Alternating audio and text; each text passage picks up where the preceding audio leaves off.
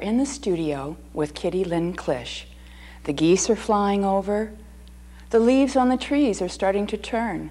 Yes, autumn is definitely in the air. So sit back and relax a while because I am going to paint a lovely autumn scene in oil just for you. So first of all, let me talk about my equipment here.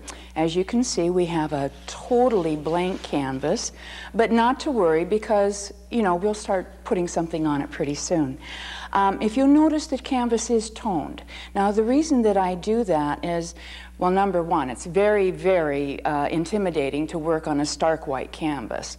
And number two, the little spots of white that show through the paint on a canvas sometimes will make a painting look cool. So I tone all of my canvases with a cadmium red light acrylic and water. Just wash it down with some water and then put this thin coating of, of a cad red light acrylic on it and so that it looks like this and then it's prepared to, to draw on. Now we'll be drawing on the canvas with charcoal, just regular regular old vine charcoal and uh, with a kneaded, kneadable eraser to take it off with to erase our mistakes and, um, and then we'll be affixing it. But I'll talk to you about that later. First of all, I wanted to tell you about my easel. Now, I know everyone is really into the um, French easel. It's smaller and it's compact. Well, this is the Swiss easel, and it's really a humdinger. It's, it's so sturdy. It has these two little tables on the sides and all these little shelves for your paints and everything, and it's just a marvelous studio easel that is portable. Very heavy. You wouldn't want to travel with it, but it is a great studio easel for traveling around from studio to studio like I am today. Okay, now let me tell you about my brushes. I like soft brushes. I prefer the, the soft ones, the, the um, sables, and oh, Langnickel or Isabey. They're both very, very good. I don't like a scrubby finish on my work. I, I prefer my work to have a soft quality. Um, I've had critics say that my work um, is represents a uh, romantic realism, well, I think that it has a soft quality. That's all I'll say about it. And I get that because of my brushes, the brushes that I use. And then, of course, there's a couple palette knives in here. And of course, my trusty wipeout tool. I wouldn't do anything without that. Years ago, my teacher told me that the wipeout tool was more important than the brush, so I always have one at hand. Now, the reason I'm telling you all these things is because I'm thinking maybe, just maybe, you have some paints there somewhere in your house and you want to pull them out. Maybe you want to paint along with me, and that'll be okay because then you'll all be doing something with me instead of just watching me. So, go ahead and get those paints, pull them out, and, and follow along. See what you can do. I want to talk about the picture that I'm going to be painting. Now, what I did is I took three photographs and I, I put them up, up here on the wall for you so that you can see. Now, this bottom photograph, this is a little scene in Gibbsville where I, close by where I used to live. I used to walk there and almost every day and I'd walk past this place and I just thought it was such an enchanting scene. Having come from California, I wasn't used to seeing scenery like this in the change of the seasons, and we, we don't have that in Southern California. So I was quite taken with this little setting. And so this is the scene I want to paint. However, I want there to be more color in it. So I, this is a scene that I shot with my camera from the car one day as I was driving through the kettles. And I thought, oh my gosh, that is just gorgeous. I really want to have a picture of that because I'm going to incorporate that with the sky into a painting someday. And this is a good idea. You don't always want to just take a photograph and copy that photograph verbatim. You want to mix some things in. Make it personal. Make it yours. Take a sky from this photograph and put it with something in that photograph and maybe add a tree from another photograph. And before you know it, you have a very personal painting that just belongs to you. And if somebody says to you, hey, that tree wasn't in front of that barn. Don't worry about it. It's your painting, not theirs. Then over here on this uh, little photograph here, I thought these colors were so vivid and so beautiful. And this tree right here is just such an interesting shape.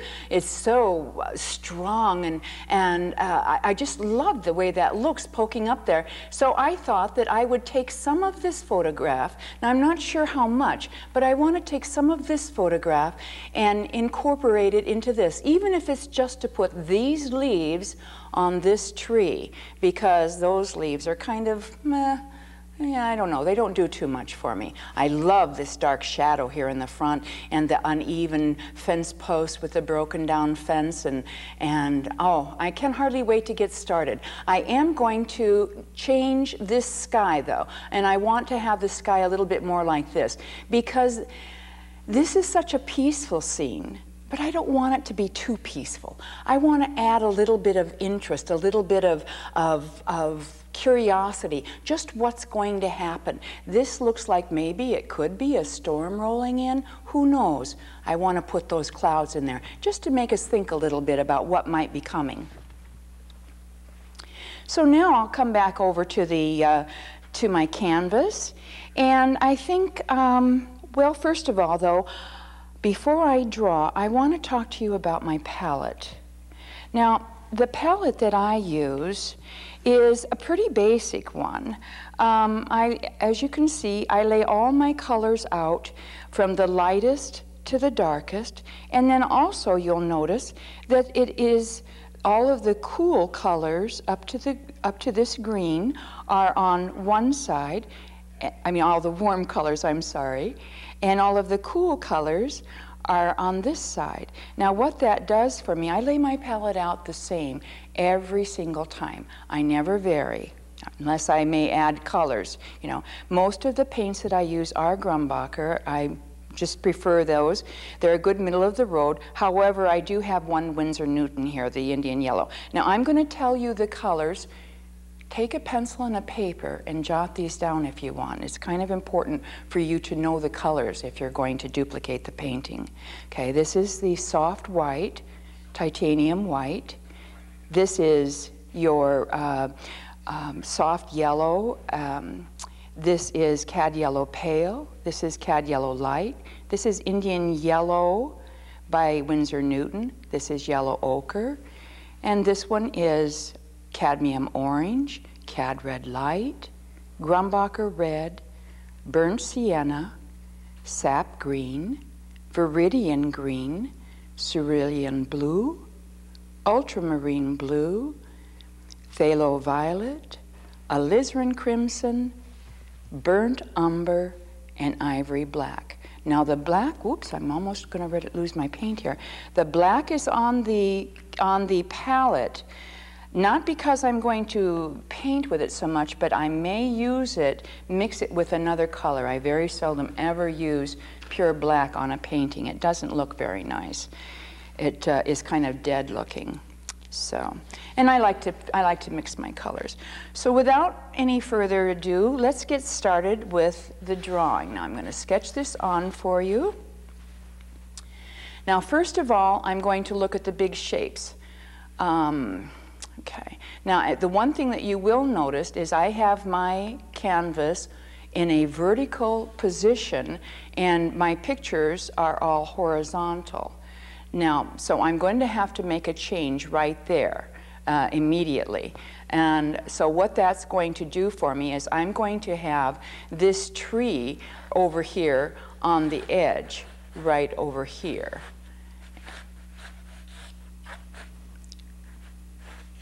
And going right out of the picture. And then it's going to have some branches coming here and over here. Now, for, for right now, I'm just, I'm just kind of laying it in. Um, I don't want to divide the canvas in half. So I must raise the the line that, uh, that uh, separates the sky from the land. I must raise that up a little bit. And I think either raise it or lower it. And I think I'm going to lower it. I think I'm going to have it going right across about here. All right. And then I've got the trees. Now the trees are, I want the, one thing about, one thing about photography, you'll find that it flattens things out and makes things seem like they're further away. So you have to take that into consideration whenever you're drawing a a photograph onto the canvas for you to paint. So I'm going to make the trees just a little bit higher because I know that if I was standing and looking at that scene, those trees would not seem so far away. They would seem a little closer. So I'm going to make them just a little bit closer. And this is coming out now. This is I'm uh, I'm looking at the top photograph, top left photograph, and I'm just very lightly blocking in the trees that I see there. Now it's going to be maybe a little difficult to follow because I am combining the two photographs. So that might make it a little bit um, difficult for you to see what I'm doing here. Right now I'm blocking in some tree shapes.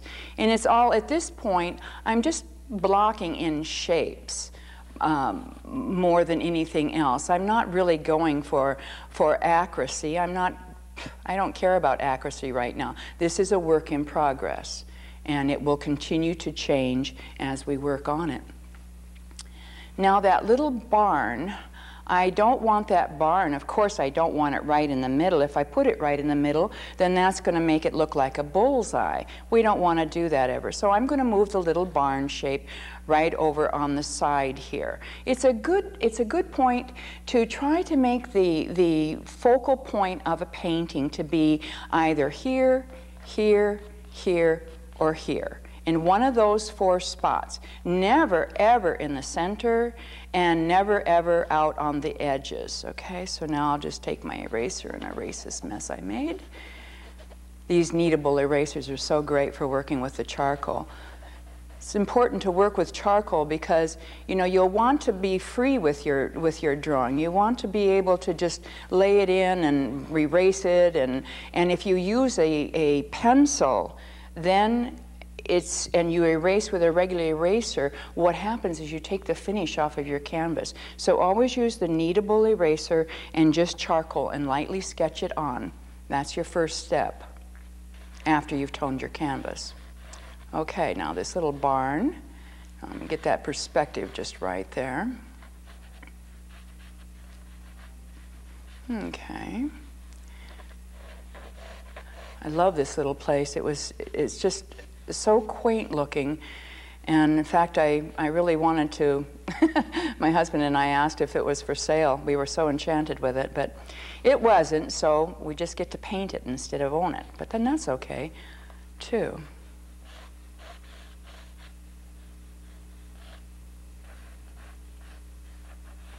refine this a little bit.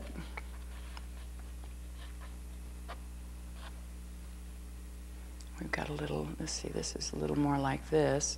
I must tell you that drawing was never a, my forte. My teacher used to tell me, Kitty, draw something every single day. Have that sketchbook with you and draw constantly.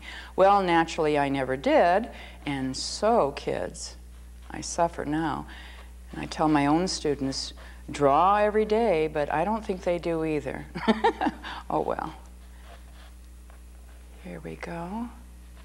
All right, now then, we've got lots of trees that are around this little um, barn area. And the only thing that I think is missing here is a silo. And I think I really want a silo in there. So I'm going to pretend that there's one right about here.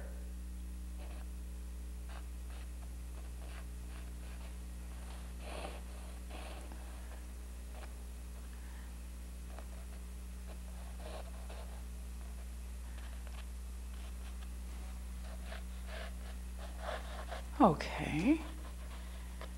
Yeah, all right then. Now then, we have this tree. Now, I don't know. I'm thinking now that possibly that tree is too far over. It looks like it's going up the side too much. So let's adjust it a little bit. and bring it over just a little bit.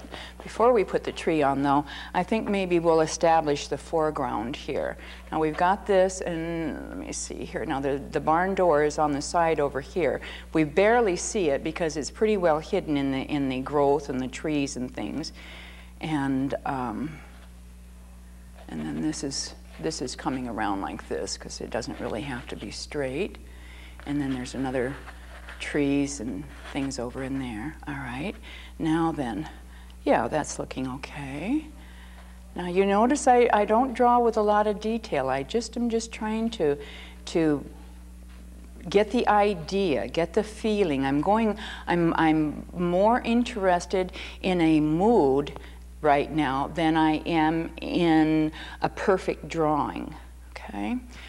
So now then, I see that this dark, big dark shape right here is coming like so, and then we have um,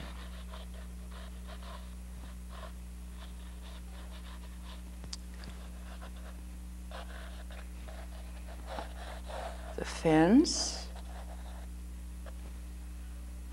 I think that one needs to be closer together. My goodness the whole herd of cows would get out if the fence was that far, fence posts were that far apart. There we go.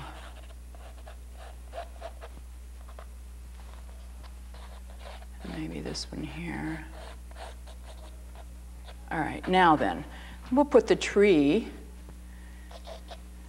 right about here. And he has a wonderful little curve to him. Let's see if I can capture that feeling.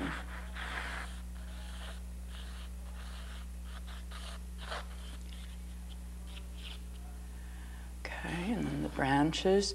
Now this is where we're going to use those leaves that are on the other, um, that small photograph on the right there that I fell in love with, because these will be, those leaves will be beautiful on this tree.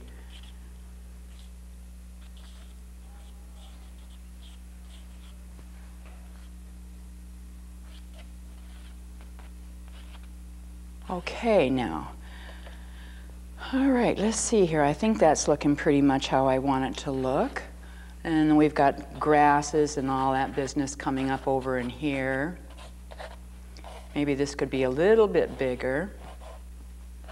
So it's a little more in the foreground.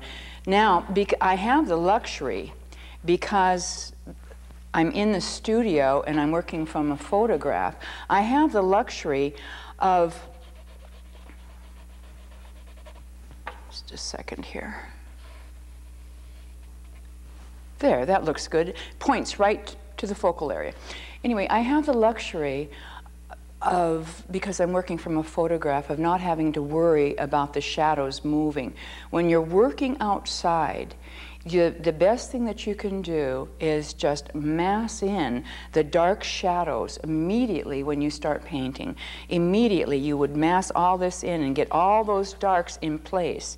And everywhere that you saw a dark shadow, you would mass that in you know, and, and make sure that you get that secured because within minutes that shadow is, the shape of that shadow is going to change. And at that point, you know, you're, you're really, if you spend your day changing your painting and trying to catch up with the shadows, well, the painting won't be done and it won't look like much when it is done. So you want to, when you're on location, when you're outside, Mass in your shadows and leave them. It doesn't matter if four hours later you're still finishing up and the shadow has changed from, say, over here, say that shadow was there, okay, when you started the painting, and now it's all the way back over here. Don't worry about that. Keep the shadow where you put it in the first place. I have the definite luxury of working from a photograph and my shadows aren't moving, so that does make it quite a bit easier. But it would be kind of nice to have a little bit of a shadow coming off of these. Say, say I, it looks from the photograph, it looks to me like the light is coming from, oh, say, like the left and a, more to the back and the left coming across to the right. But I'm thinking if that were the case, then this is dark here in front, but why couldn't these guys, these fence posts, why couldn't they create a little bit of a, just maybe just a little short shadow there, just to give a little interest to that foreground? Then I think that, yeah, I think that's a nice idea. And then we know already that this is all going to be dark because the light is coming there again from here. This side of the tree is going to be light, and this side is going to be dark over in here. Okay. Now then, I, am, I think I'm pretty happy with the way this looks. I'm going to leave this be now, and I'm going to show you the next step. We cannot paint over this until we affix this charcoal to the, to the um, canvas. And how we're going to do that is we're going to take, first of all, we're going to take, this is, this is um, acrylic that I've mixed with water. It's yellow ochre acrylic, and I've mixed it with water. And I'm going to just affix the drawing with the acrylic. This will take a few minutes, so bear with me. When I was in class, years and years ago, I hate to tell you how many, my teacher would you know, we would, we would always start our paintings with a, the traditional way, you know, a little thinned oil paint, and we'd splash it on and, and uh, do our drawing then, and, and then we'd just go right into the paints and everything. And it was, of course, the, the, the paint was very, very thin, and, and um, so if you're working along and you do something wrong, and a certain area isn't right, and the teacher said, wipe it out, and my teacher loved to tell me. He'd wait until I was almost done with the painting, and then he'd come over and he'd say, This whole section is all wrong. Wipe it out.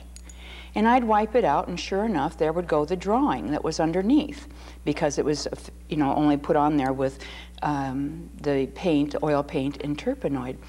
And oh, that was very distressing to me because I wasn't very good at drawing. So I finally learned that if I took and I affixed my drawing with acrylic, then he could tell me to wipe out as many times as he wanted to, and I didn't lose my drawing. So to this day, I still affix the paintings with the acrylic. And then later on, when we're painting, if we don't like an area and we have to wipe it off, we haven't lost anything. For me, this is the most difficult part. The, the most important part of the painting is the most difficult. You see, paintings are should be thought of as like the human, a human uh, anatomy, you know? The composition is the most important part of the painting. That's the drawing and the placement of the subjects on the canvas. And then you have the muscle and tissue that hold the bones together. Okay? So you put the the composition is the skeleton, and you put the, the muscle and tissue over the bones to hold them all together. Well, that is the values. The, the, muscle and tissue is the values, the darks and the lights. Okay? And then over the whole thing, you put color all over the whole painting. After you've got your drawing done, of which is the most important thing, then you have your values all decided and everything, and that's the second most important thing, a pleasing pattern of light and dark. And then the third and least important is the color. And that's like the skin you drape over the bones and the tissue. Now, there are some artists who are what we consider colorists, and they would definitely disagree with me. But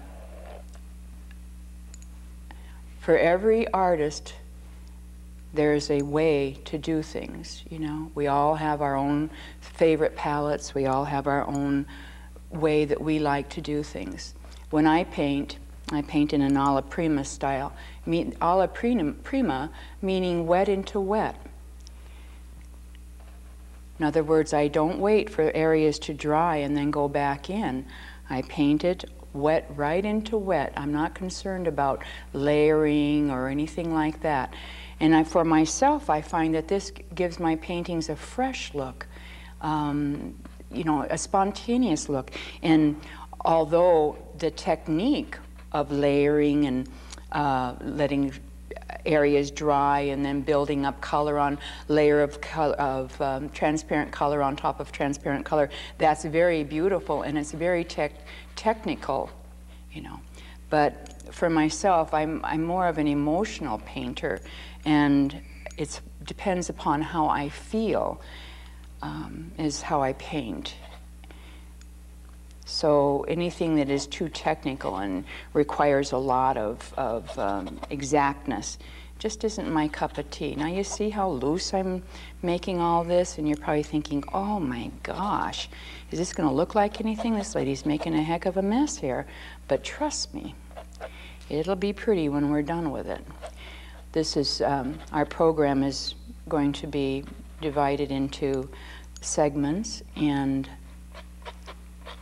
for this segment, we will have talked about the, the drawing, and we've got our painting on the canvas. As far as the drawing is concerned, we have it secured on the canvas.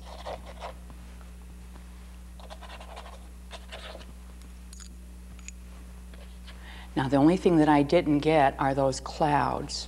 That um, now, this is my trees in the background. Okay. And I think that the clouds I'm seeing, I'll just do this freehand here, are kind of coming like this as I look up at the picture. They go down behind the tree, and then this right here is more cloud, and right up in here. Now sometimes, and then there is a nice cloud pattern going across the top here too. Now sometimes when it's like this, it's hard for me to tell which is which. So I'll put a C for cloud so that I don't mistakenly put my trees up too high. And I'll put a T down here for trees. And then that way I'll remember where I'm at. Okay, now I think that that's looking pretty good. And when that dries, we'll be able to take a paper towel over it and wipe off all the charcoal and just the drawing will be left. So this concludes this portion of our show. Be sure and be with us next time when we start laying in the sky and I, I talk to you about the process of painting. So goodbye for now. This is Kitty Lynne Klich. You're in the studio.